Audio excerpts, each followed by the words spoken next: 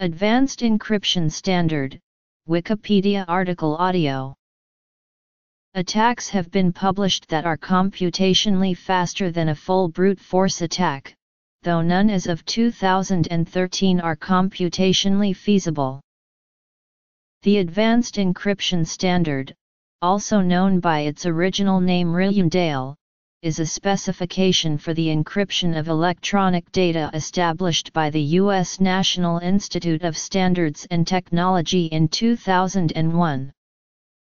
Definitive Standards Description of the cipher AES is a subset of the Rijndael cipher developed by two Belgian cryptographers, Vincent Rijmen and Joan Daemen, who submitted a proposal to NIST during the AES selection process. Rijndael is a family of ciphers with different key and block sizes. For AES, NIST selected three members of the Rijndael family, each with a block size of 128 bits, but three different key lengths, 128, 192 and 256 bits. AES has been adopted by the US government and is now used worldwide. It supersedes the data encryption standard, which was published in 1977. The algorithm described by AES is a symmetric key algorithm, meaning the same key is used for both encrypting and decrypting the data. In the United States, AES was announced by the NIST as US FIPS Pub 197 on November 26, 2001. This announcement followed a five-year standardization process in which 15 competing designs were presented and evaluated, before the Rijndael cipher was selected as the most suitable. AES became effective as a federal government standard on May 26, 2002, after approval by the Secretary of Commerce. AES is included in the ISO-IEC 18033-3 standard. AES is available in many different encryption packages, and is the first publicly accessible cipher approved by the National Security Agency for top secret information when used in an NSA-approved cryptographic module. High-level description of the algorithm The Advanced Encryption Standard is defined in each of AES is based on a design principle known as a substitution a Euro permutation network, a combination of both substitution and permutation, and is fast in both software and hardware. Unlike its predecessor DES, AES does not use a Feistel network. AES is a variant of Rijndael which has a fixed block size of 128 bits, and a key size of 128, 192, or 256 bits. By contrast, the Rijndael specification per SE is specified with block and key sizes that may be any multiple of 32 bits, with a minimum of 128 and a maximum of 256 bits. The sub-bytes step AES operates on a 4A4 column major order matrix of bytes, termed the state, although some versions of Rijndael have a larger block size and have additional columns in the state. Most AES calculations are done in a particular finite field. For instance, if there are 16 bytes, B, 0, B, 1, B, 15, B, B, these bytes are represented as this matrix. The key size used for an AES cipher specifies the number of repetitions of transformation rounds that convert the input, called the plaintext, into the final output, called the ciphertext. The number of cycles of repetition are as follows. The shift rows step.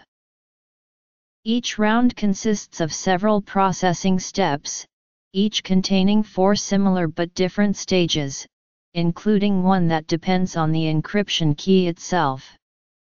A set of reverse rounds are applied to transform ciphertext back into the original plaintext using the same encryption key. The mix columns step In the sub-bytes step, each byte, A, I, J, in the state matrix is replaced with a sub-byte S, A, I, J, using an 8-bit substitution box, the Rijndael S-box. This operation provides the nonlinearity in the cipher. The S-box used is derived from the multiplicative inverse over GF, known to have good nonlinearity properties. To avoid attacks based on simple algebraic properties, the S-box is constructed by combining the inverse function with an invertible affine transformation. The S-box is also chosen to avoid any fixed points, i.e. S, A, I, J, A per thousand, A, I, J, and also any opposite fixed points, i.e. S, A, I, J, A with circumflex, A, I, J, A per thousand, FF, 16, backslash nig.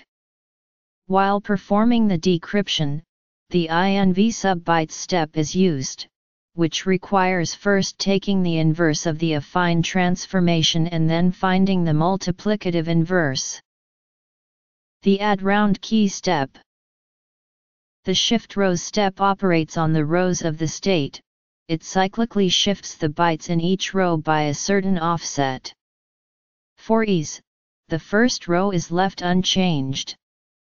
Each byte of the second row is shifted one to the left. Similarly, the third and fourth rows are shifted by offsets of 2 and 3 respectively. For blocks of sizes 128 bits and 192 bits, the shifting pattern is the same. Row n is shifted left circular by n a 1 bytes.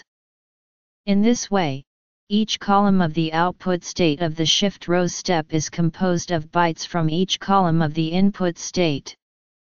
For a 256-bit block, the first row is unchanged and the shifting for the second, third, and fourth row is 1 byte, 3 bytes and 4 bytes respectively a euro this change only applies for the Rijndael cipher when used with a 256-bit block, as AES does not use 256-bit blocks.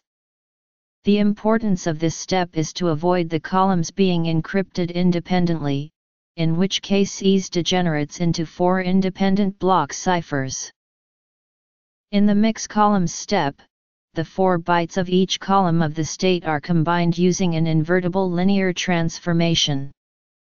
The mix columns function takes 4 bytes as input and outputs 4 bytes, where each input byte affects all 4 output bytes. Together with shift rows, mix columns provides diffusion in the cipher.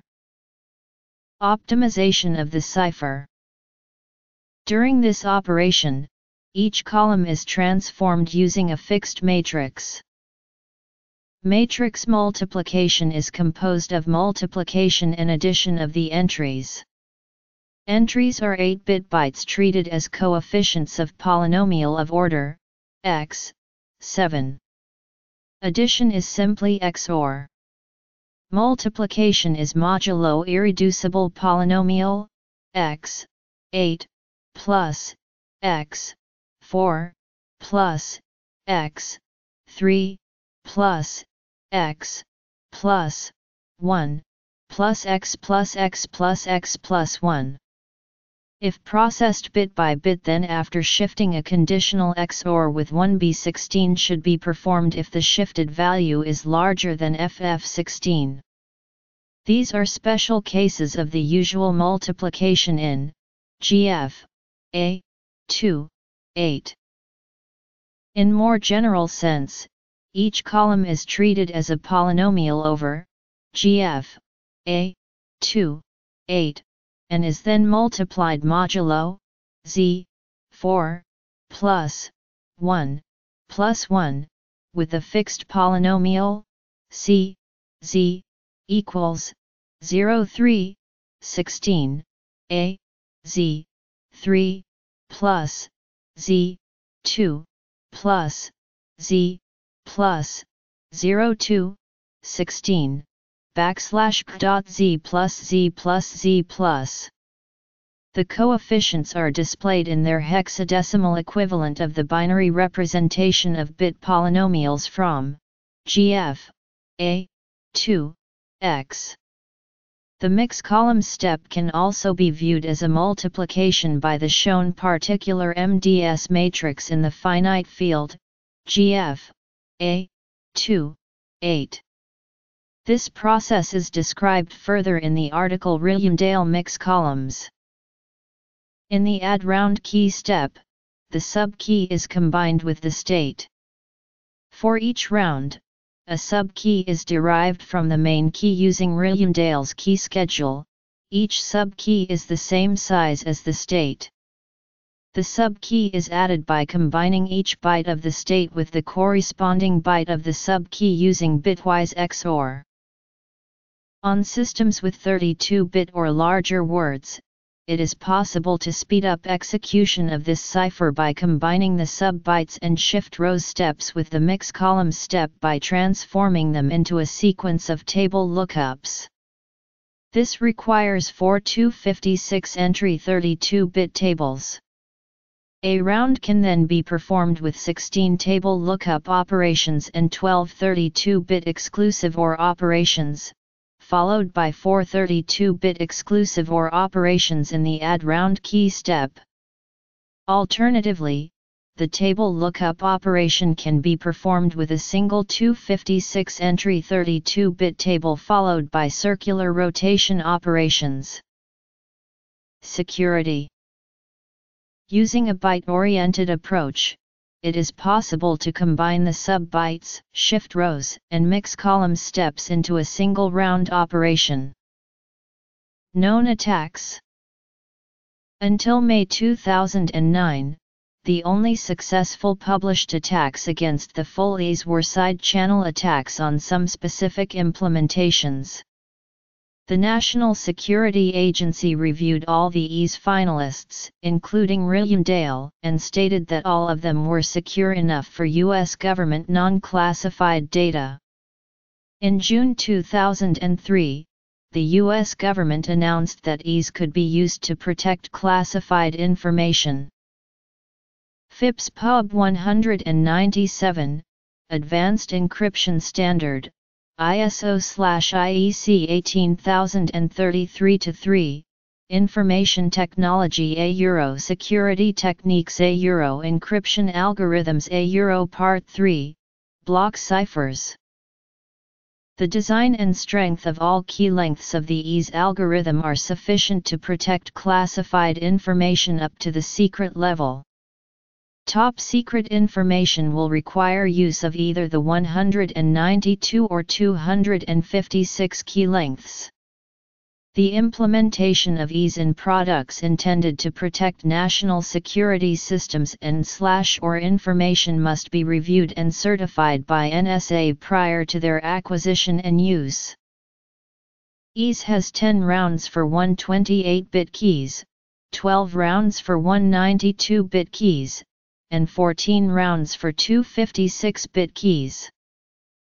10 cycles of repetition for 128-bit keys, 12 cycles of repetition for 192-bit keys, 14 cycles of repetition for two 56-bit keys. By 2006, the best known attacks were on 7 rounds for 128-bit keys, 8 rounds for 192-bit keys, and 9 rounds for two 56-bit keys. Side channel attacks NIST/CSEC validation Test vectors Performance For cryptographers, a cryptographic break is anything faster than a brute force attack a euro i.e., performing one trial decryption for each possible key in sequence. A break can thus include results that are infeasible with current technology. Despite being impractical, theoretical breaks can sometimes provide insight into vulnerability patterns. The largest successful publicly known brute force attack against a widely implemented block cipher encryption algorithm was against a 64-bit RC5 key by Distributed.net in 2006. The key space increases by a factor of 2 for each additional bit of key length, and if every possible value of the key is equiprobable, this translates into a doubling of the average brute force key search time. This implies that the effort of a brute force search increases exponentially with key length. Key length in itself does not imply security against attacks, since there are ciphers with very long keys that have been found to be vulnerable. AES has a fairly simple algebraic framework.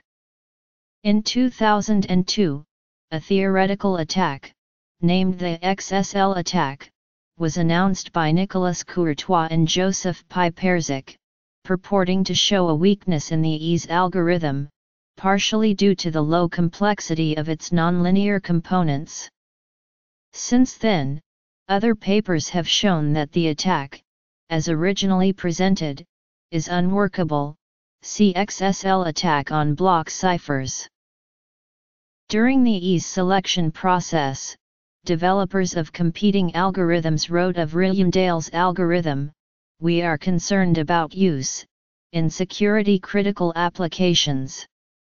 In October 2000, however, at the end of the AES selection process, Bruce Schneier, a developer of the competing algorithm Twofish, wrote that while he thought successful academic attacks on Rijndael would be developed someday, he did not believe that anyone will ever discover an attack that will allow someone to read Rijndael traffic.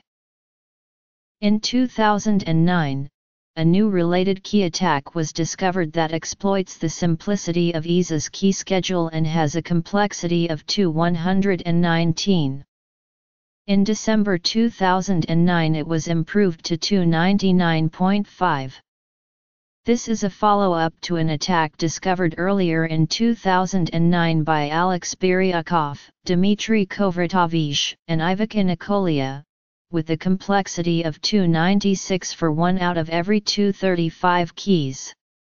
However, related key attacks are not of concern in any properly designed cryptographic protocol, as a properly designed protocol will take care not to allow related keys, essentially by constraining an attacker's means of selecting keys for relatedness.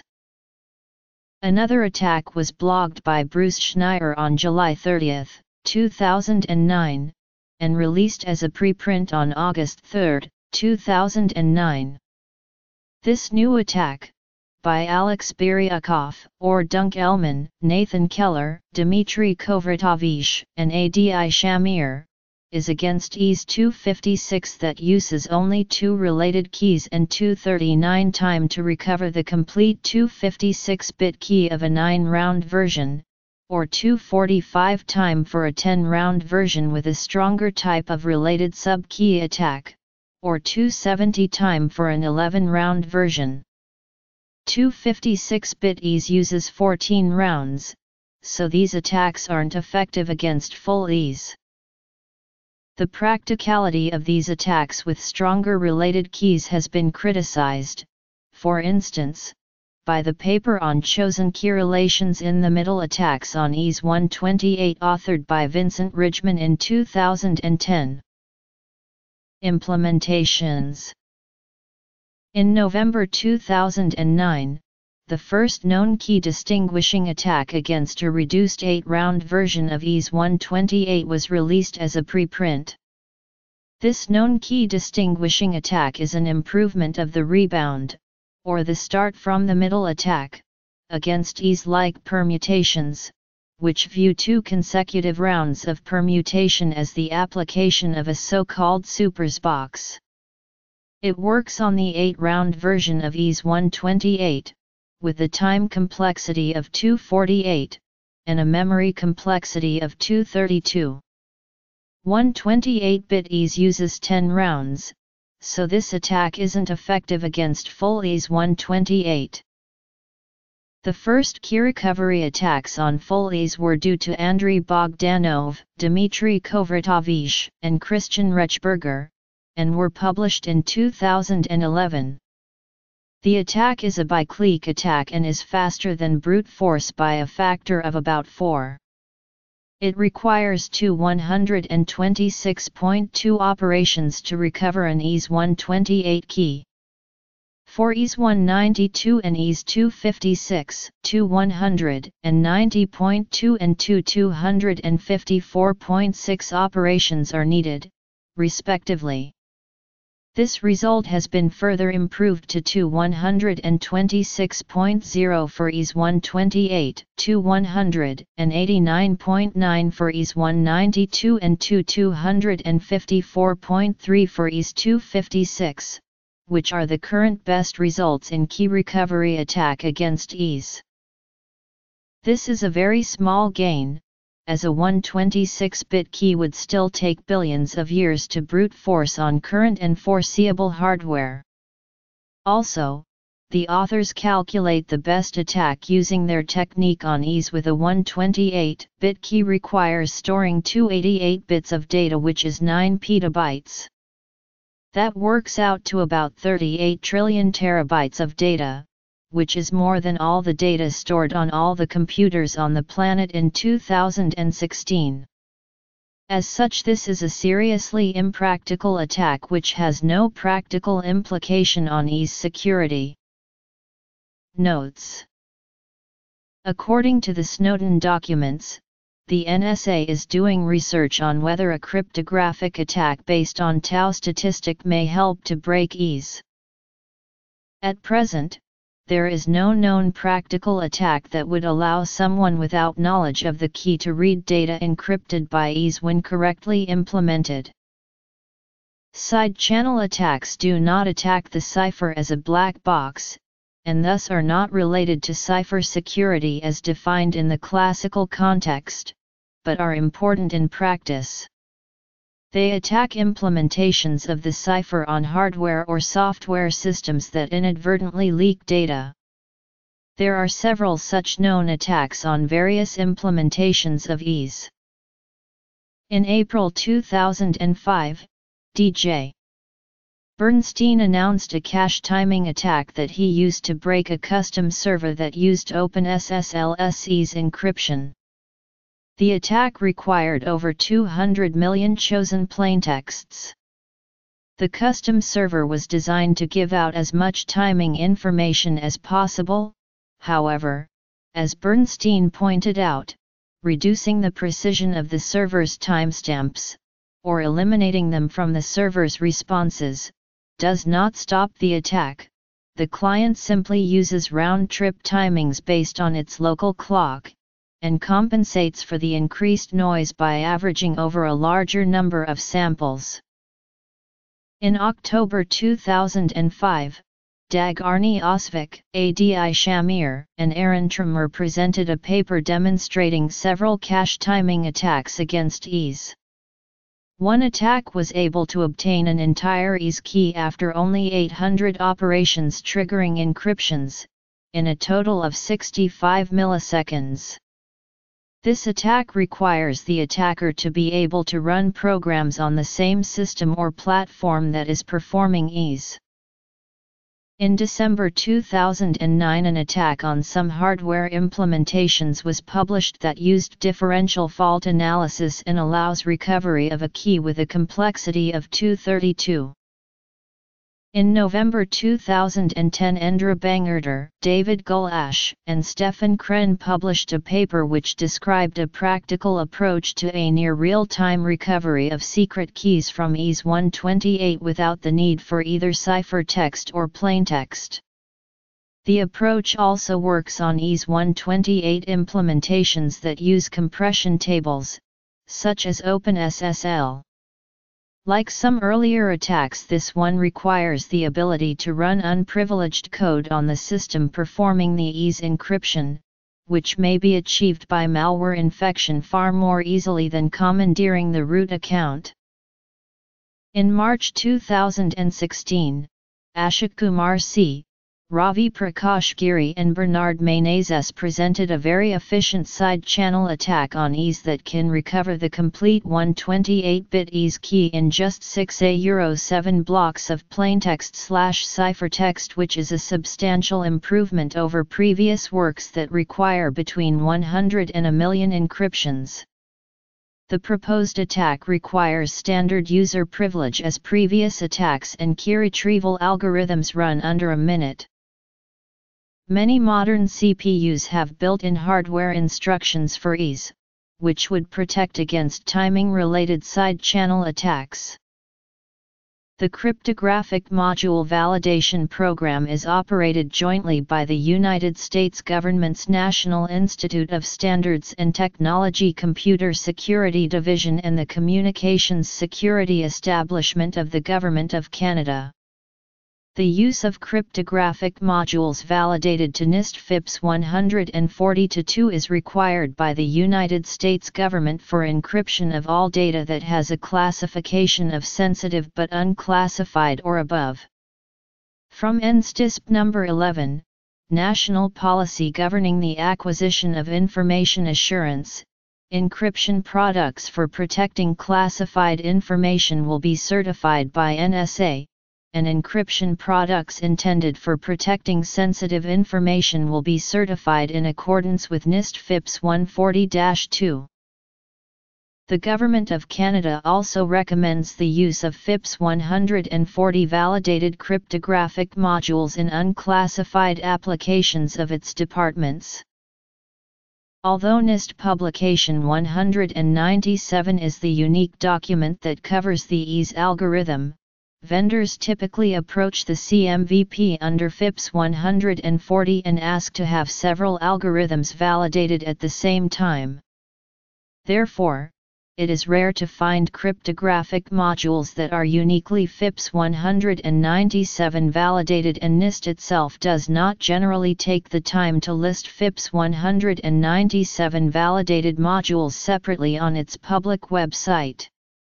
Instead, FIPS 197 validation is typically just listed as an FIPS approved, AES notation in the current list of FIPS 140 validated cryptographic modules.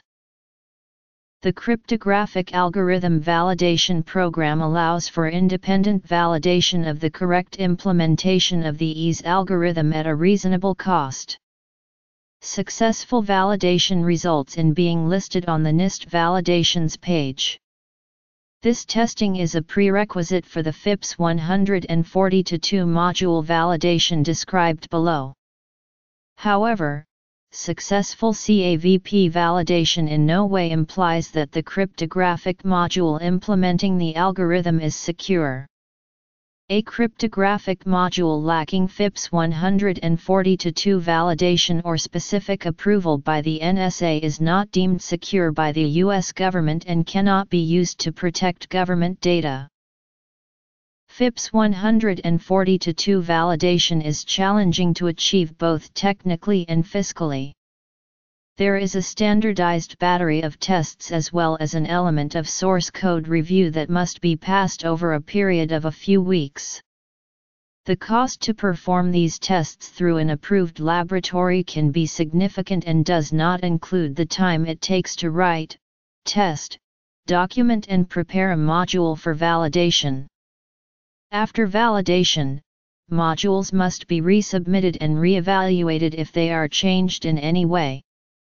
This can vary from simple paperwork updates if the security functionality did not change to a more substantial set of retesting if the security functionality was impacted by the change. Test vectors are a set of known ciphers for a given input and key. NIST distributes the reference of AES test vectors as AES known answer test vectors. High speed and low RAM requirements were criteria of the AES selection process. As the chosen algorithm, AES performed well on a wide variety of hardware, from 8-bit smart cards to high-performance computers. On a Pentium Pro, AES encryption requires 18 clock cycles per byte, equivalent to a throughput of about 11 MB/s for a 200 MHz processor. On a 1.7 GHz Pentium M throughput is about 60 MB/s. On Intel Core i3-i5-i7 and AMD APU and FX CPUs supporting AES NI instruction set extensions, throughput can be over 700 MB/s.